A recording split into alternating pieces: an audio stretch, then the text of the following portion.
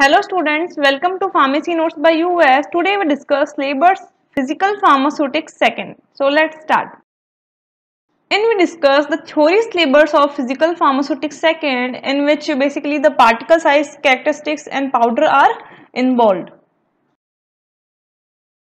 first जो chapter है, वो है फ़िज़िकल फार्मास्यूटिक्स सेकंड के अंदर कॉलोडल डिस्पर्शन बेसिकली जो फ़िज़िकल फार्मास्यूटिक सेकंड है, यानी कि जो फोर्थ सेमेस्टर का सब्जेक्ट है इसमें अपन सारी की सारी बात पार्टिकल साइज़ से रिलेटेड करेंगे या फिर विस्कोसिटी से रिलेटेड करेंगे?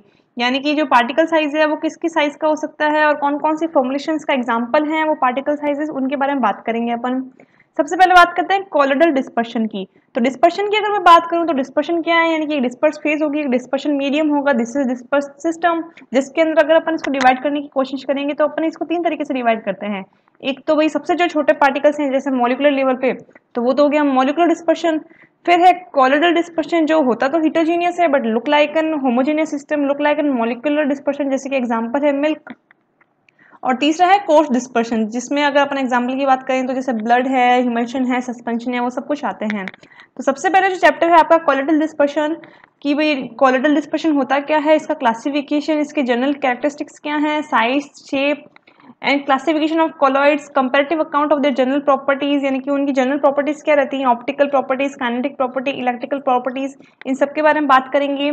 फिर कुछ स्मॉल टॉपिक्स भी हैं, जैसे effect of electrolyte on colloidal system coacervation phases peptization protective action ये सारी की सारी चीज़ें अपन यूनिट नंबर फ़र्स्ट में देखेंगे। करते हैं unit number second rheology rheology मतलब कि विस्कोसिटी अब नॉर्मली तो अपन ये कहते हैं कि जैसे कि सपोज़ एक बीकर है बीकर के अंदर पानी है।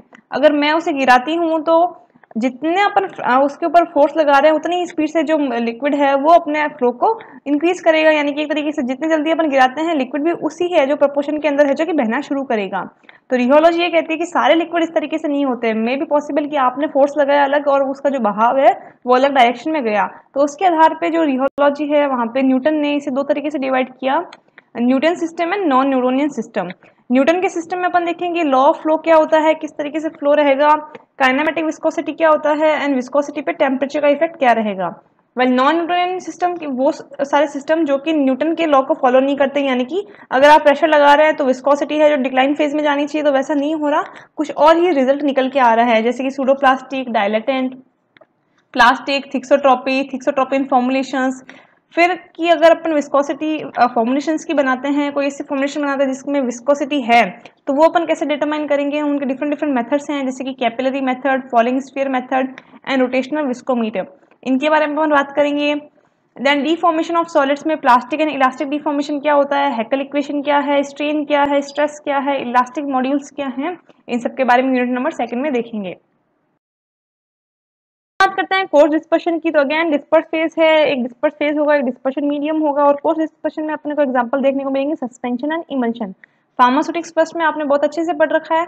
अब सस्पेंशन में जो डीफ्लोकुलेटेड है फ्लोकुलेटेड है, वो होता क्या है, ये बनते कैसे हैं कौन कौन सी प्रॉपर्टीज़ हैं, और किस तरीके से सस्पेंशन बनाया जाता है, यानी कि formulation of flocculated and deflocculated अपन किस तरीके से कर सकते हैं सेटलिंग ऑफ़ सस्पेंशन अपन किस तरीके से रोक सकते हैं, इनकी जो इंटरफेशियल प्रॉपर्टीज़ है, वो क्या है, इन सब के बारे में बात करेंगे। वैसे इमल्शन के अंदर अपन ने अभी तक छुटिक्स में पढ़ रखा है कि इमल्शन क्या होता है, कितने तरीके का होता है और उसके इवोल्यूशन टेस्ट यानी कि इमल्शन है और पता लगाना है कि ये डब्ल्यू बाई ओ है या फिर oil and water type of emulsion है। बट अब यूनिट नंबर थर्ड जो कोर्स डिस्पर्शन है, उसमें अपन इमल्शन में देखेंगे कि इमल्शन होता क्या है थ्योरी ऑफ़ इमल्सिफिकेशन यानी कि जो इमल्सिफाइंग एजेंट्स हैं, वो किस किस तरीके से किस किस मैकेनिज्म से एक्शन करते हैं। Then micro emulsion multiple emulsion stability of emulsion क्या है? Preservation of emulsion, rheological property of emulsion emulsion formulation by H L B methods यानी कि सारी की सारी चीज़ें देखेंगे कि स्टेबिलिटी कैसे मेंटेन होगी। जैसे कॉलेजन क्या होता है फ्लॉक्यूलेशन क्या होता है ब्रेकिंग क्या होगी फेस सेपरेशन क्या होता है, ये सारी की सारी चीज़ें हैं जो कि अपन यूनिट नंबर थर्ड में देखेंगे।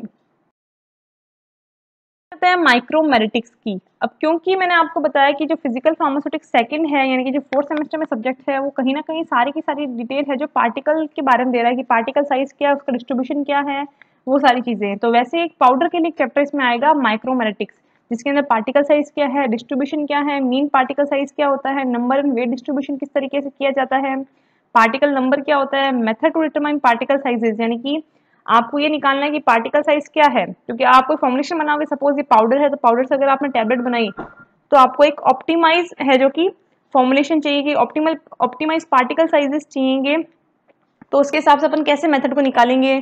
तो डिफरेंट डिफरेंट मेथड्स हैं to determine the particle size like counting and separation methods particle shape क्या होता है सरफेस एरिया क्या होता है स्पेसिफिक सरफेस क्या है फिर देखेंगे कि सरफेस एरिया को निकालने के लिए कौन कौन से मेथड अपन यूज़ करते हैं, जैसे परमेबिलिटी हो गया एडॉप्शन मेथड हो गया डिराइव प्रॉपर्टी ऑफ़ पाउडर क्या होता है? पोरोसिटी क्या है? पैकेजिंग अरेंजमेंट्स क्या है? डेंसिटी क्या है? बल्किनेस क्या है? फ्लो प्रॉपर्टी क्या है? यानी कि एक तरीके से ये कह दो कि आप एक टैबलेट डोजेस फॉर्म बना रहे हो या फिर आप एक ड्राई डोजेस फॉर्म बना रहे हो, जिसके अंदर आपको कौन कौन से कैरेक्टरिस्टिक्स देखने पड़ेंगे पार्टिकल साइज़ से रिलेटेड ताकि जो आपकी टैबलेट बन रही है, उसमें जो भी पैरामीटर्स हैं, जो भी क्वालिटी कंट्रोल है, उनको आप पूरा का पूरा ऑप्टिमाइज कर सको। वो सारी की सारी चीज़ें अपन माइक्रोमेटिक्स में पढ़ेंगे।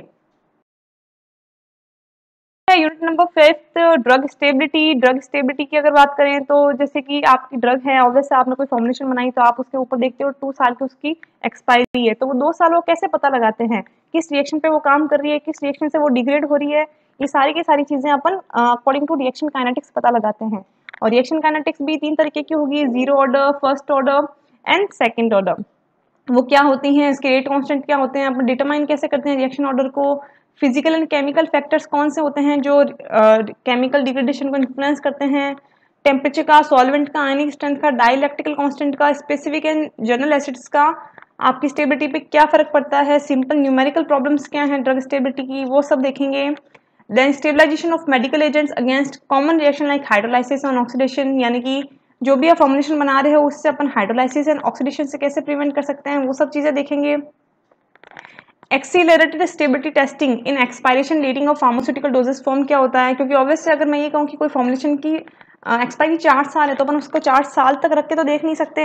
अपन क्या करते हैं कि उसमें उस, उसी को छः महीने के अंदर सारी की सारी जो कंडीशंस हैं ह्यूमिडिटी हो गया टेम्परेचर हो गया या अदर फैक्टर्स हैं, उनको एलिवेटेड यानी कि हाई अमाउंट में प्रोवाइड करवा देते हैं और उससे जो फोर ईयर्स की कैलकुलेशन है, वो सारी की सारी निकालते हैं। तो ये सब कैसा होता है, किस तरीके से अपन निकालते हैं क्लाइमेट जोन के हिसाब से किस तरीके से इसको डिवाइड किया गया है, वो सारी अपन बात करेंगे। Then photolytic degradation and prevention उसके बारे में भी देखेंगे कि कोई ड्रग है जो फोटोलाइटिक यानी कि लाइट से है जो डिग्रेड होती है तो उसका क्या प्रिवेंशन है? जो बुक्स आपको रिकमेंड करनी है फ़िज़िकल फार्मेसी सेकंड के लिए, उसके बारे में अगर अपन बात करें तो मार्टिन है पैराथ tutorial pharmacy of Cooper and Gunn then Lea and Febiger Lieberman Lachman Marcel and Dekker Lieberman and physical pharmaceutics by CVS Ramaswamy. ये सारी बुक्स हैं जो कि आप फ़िज़िकल फार्मास्यूटिक सेकंड पढ़ने के लिए रिफर कर सकते हैं। I hope you understand and enjoy the video please like share and subscribe and please press the bell button for more updates thank you